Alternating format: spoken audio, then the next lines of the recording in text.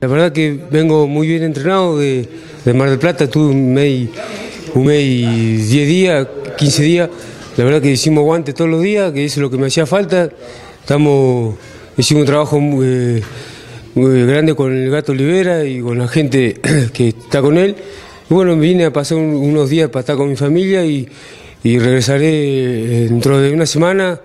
Eh, para Mar del Plata para seguir con la preparación porque es una pelea muy importante de, de ganar esta pelea y, que la gente me acompañe del esfuerzo que hace mi viejo de haber dos títulos en juego, el título argentino, el mío, y el, y el latino del Consejo Mundial de Boxeo, que lo pone González.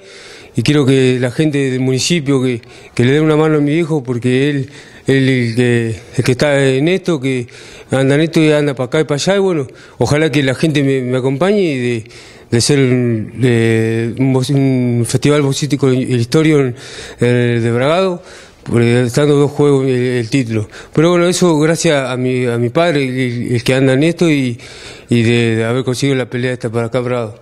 Y mucha gente que apoya. Hablamos de dos títulos porque el que pierda esa noche se va sin nada.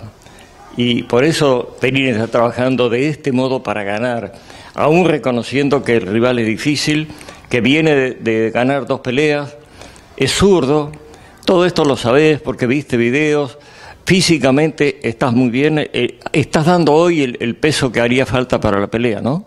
Sí, no, la verdad que estamos, estamos trabajando fuerte, estoy eh, metido en esto, en mi cabeza de, esta pelea que la más importante es un boxeador que, que, es raro, medio difícil, pero después de velocidad, técnica y eso lo tengo mucho yo, aparte estoy laburando fuerte y yo no tengo ninguna duda, yo me estoy preparando bien, por, sí, porque ya lo, que me pasó, bueno, no me, no, me, va a pasar más, bueno, ahora me estoy metido más en esto y, y seguiré entrenando fuerte para, para estar 10 puntos en la pelea.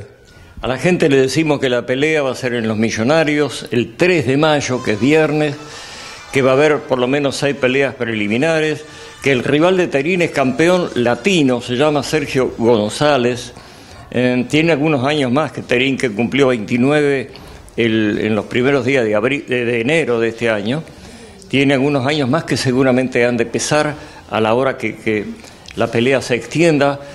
No, no me queda claro a cuántas vueltas. Creo que son de 10 vueltas eh, por, el, por los dos títulos en juego, el título argentino que pongo yo y el título latino que pone el eh, González. Bueno, estamos trabajando fuerte y bueno, y, le quiero decir a, a toda la gente del municipio que, que si pueden aportar algo para, este festival, que es una pelea muy importante que, que va a quedar registrado para eh, histórico acá en Bragado.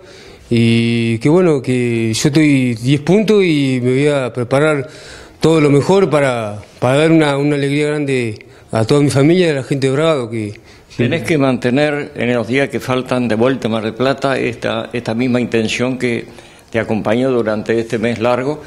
Eh, una última, ¿cómo te sentís? Eh, ¿El hecho de pelear en Bragado es, te presiona? Digo, ¿qué preferís?